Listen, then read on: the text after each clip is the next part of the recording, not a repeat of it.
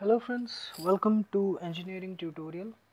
Now in this video we are going to study how to convert a given hexadecimal number into its equivalent uh, decimal form. In my previous video we discussed the decimal to hexadecimal conversion. So now we will discuss the hexadecimal to decimal conversion process. So for that let us consider or take an, a hexadecimal number let us say 28AH okay? This is H is for hexadecimal. It means that the given number is in hexadecimal form. Now for that we know that uh, a hexadecimal number okay let us say the point is here the hexadecimal point is here and 0 this uh, symbol a which is 10 it has a weight value of 16 to the power 0 okay? We know that. Just to the left of the point the weight value starts from power 0 with the power of the base or radix starts from 0 Next, this 8 it has a weight value of base or radix to the power 1 which is 16 to the power 1. Next it has a power that is base or radix to the power 2 it is 16 to the power 2 this 2. So to convert this hexadecimal number 28A to decimal form what we do is that we multiply the respective digits with the weight values that is 2 into 16 to the power 2 plus 8 into 16 to the power 1 plus 10 into 16 to the power 0. This is equal to let me calculate 16 into 16 256 2 into 256 plus this is 128 I think 128 yes. Plus 10 this will be 512 plus 128 plus 10 so this will be around uh, 640 512 plus 128 500 plus 100 600 is 640 650 640 plus 10 650 so this is the decimal form. Okay? 28ah in decimal it can be written as 650 okay?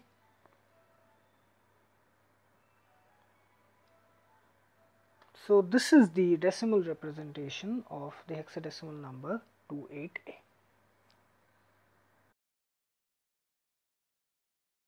let us consider another uh, hexadecimal number which we will convert it into decimal form. Let's say 1 f 0 h okay? Into decimal form. This f means it's 15 in hexadecimal f stands for 15 hexadecimal is a alphanumeric code. I have already discussed about the basic concepts related to hexadecimal number system in a separate video so you please check out that. So now we have to convert this into decimal form. So we'll do the same thing will multiply the given hexadecimal number with the respective digits with the respective weight values. This has a weight value of 16 to the power 0, 0. F has a weight value of 16 to the power 1 and uh, this 1 it has a weight value of 16 to the power 2. So, it will be 1 into 16 to the power 2 plus f or 15 into 16 to the power 1 plus 0 into 16 to the power 0. So, it is equal to 256 okay? Plus this is actually 15 into 16 okay? 15 into 16 this is equal to 240 plus 0 which is equal to 496 in decimal form. So this 1F0 is actually 496 in decimal form. So we did what we did is that we multiplied the respective weight values associated with each digit and we added those values. This is the same thing which we did in binary to decimal, octal to decimal. So we multiplied the respective weight values which is dependent on the position and the base or radix of that system and we added those values. So we get the respective decimal number.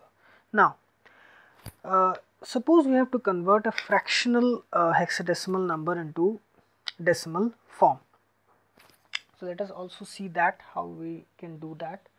Okay, let us take a fractional uh, number in hexadecimal system. Okay.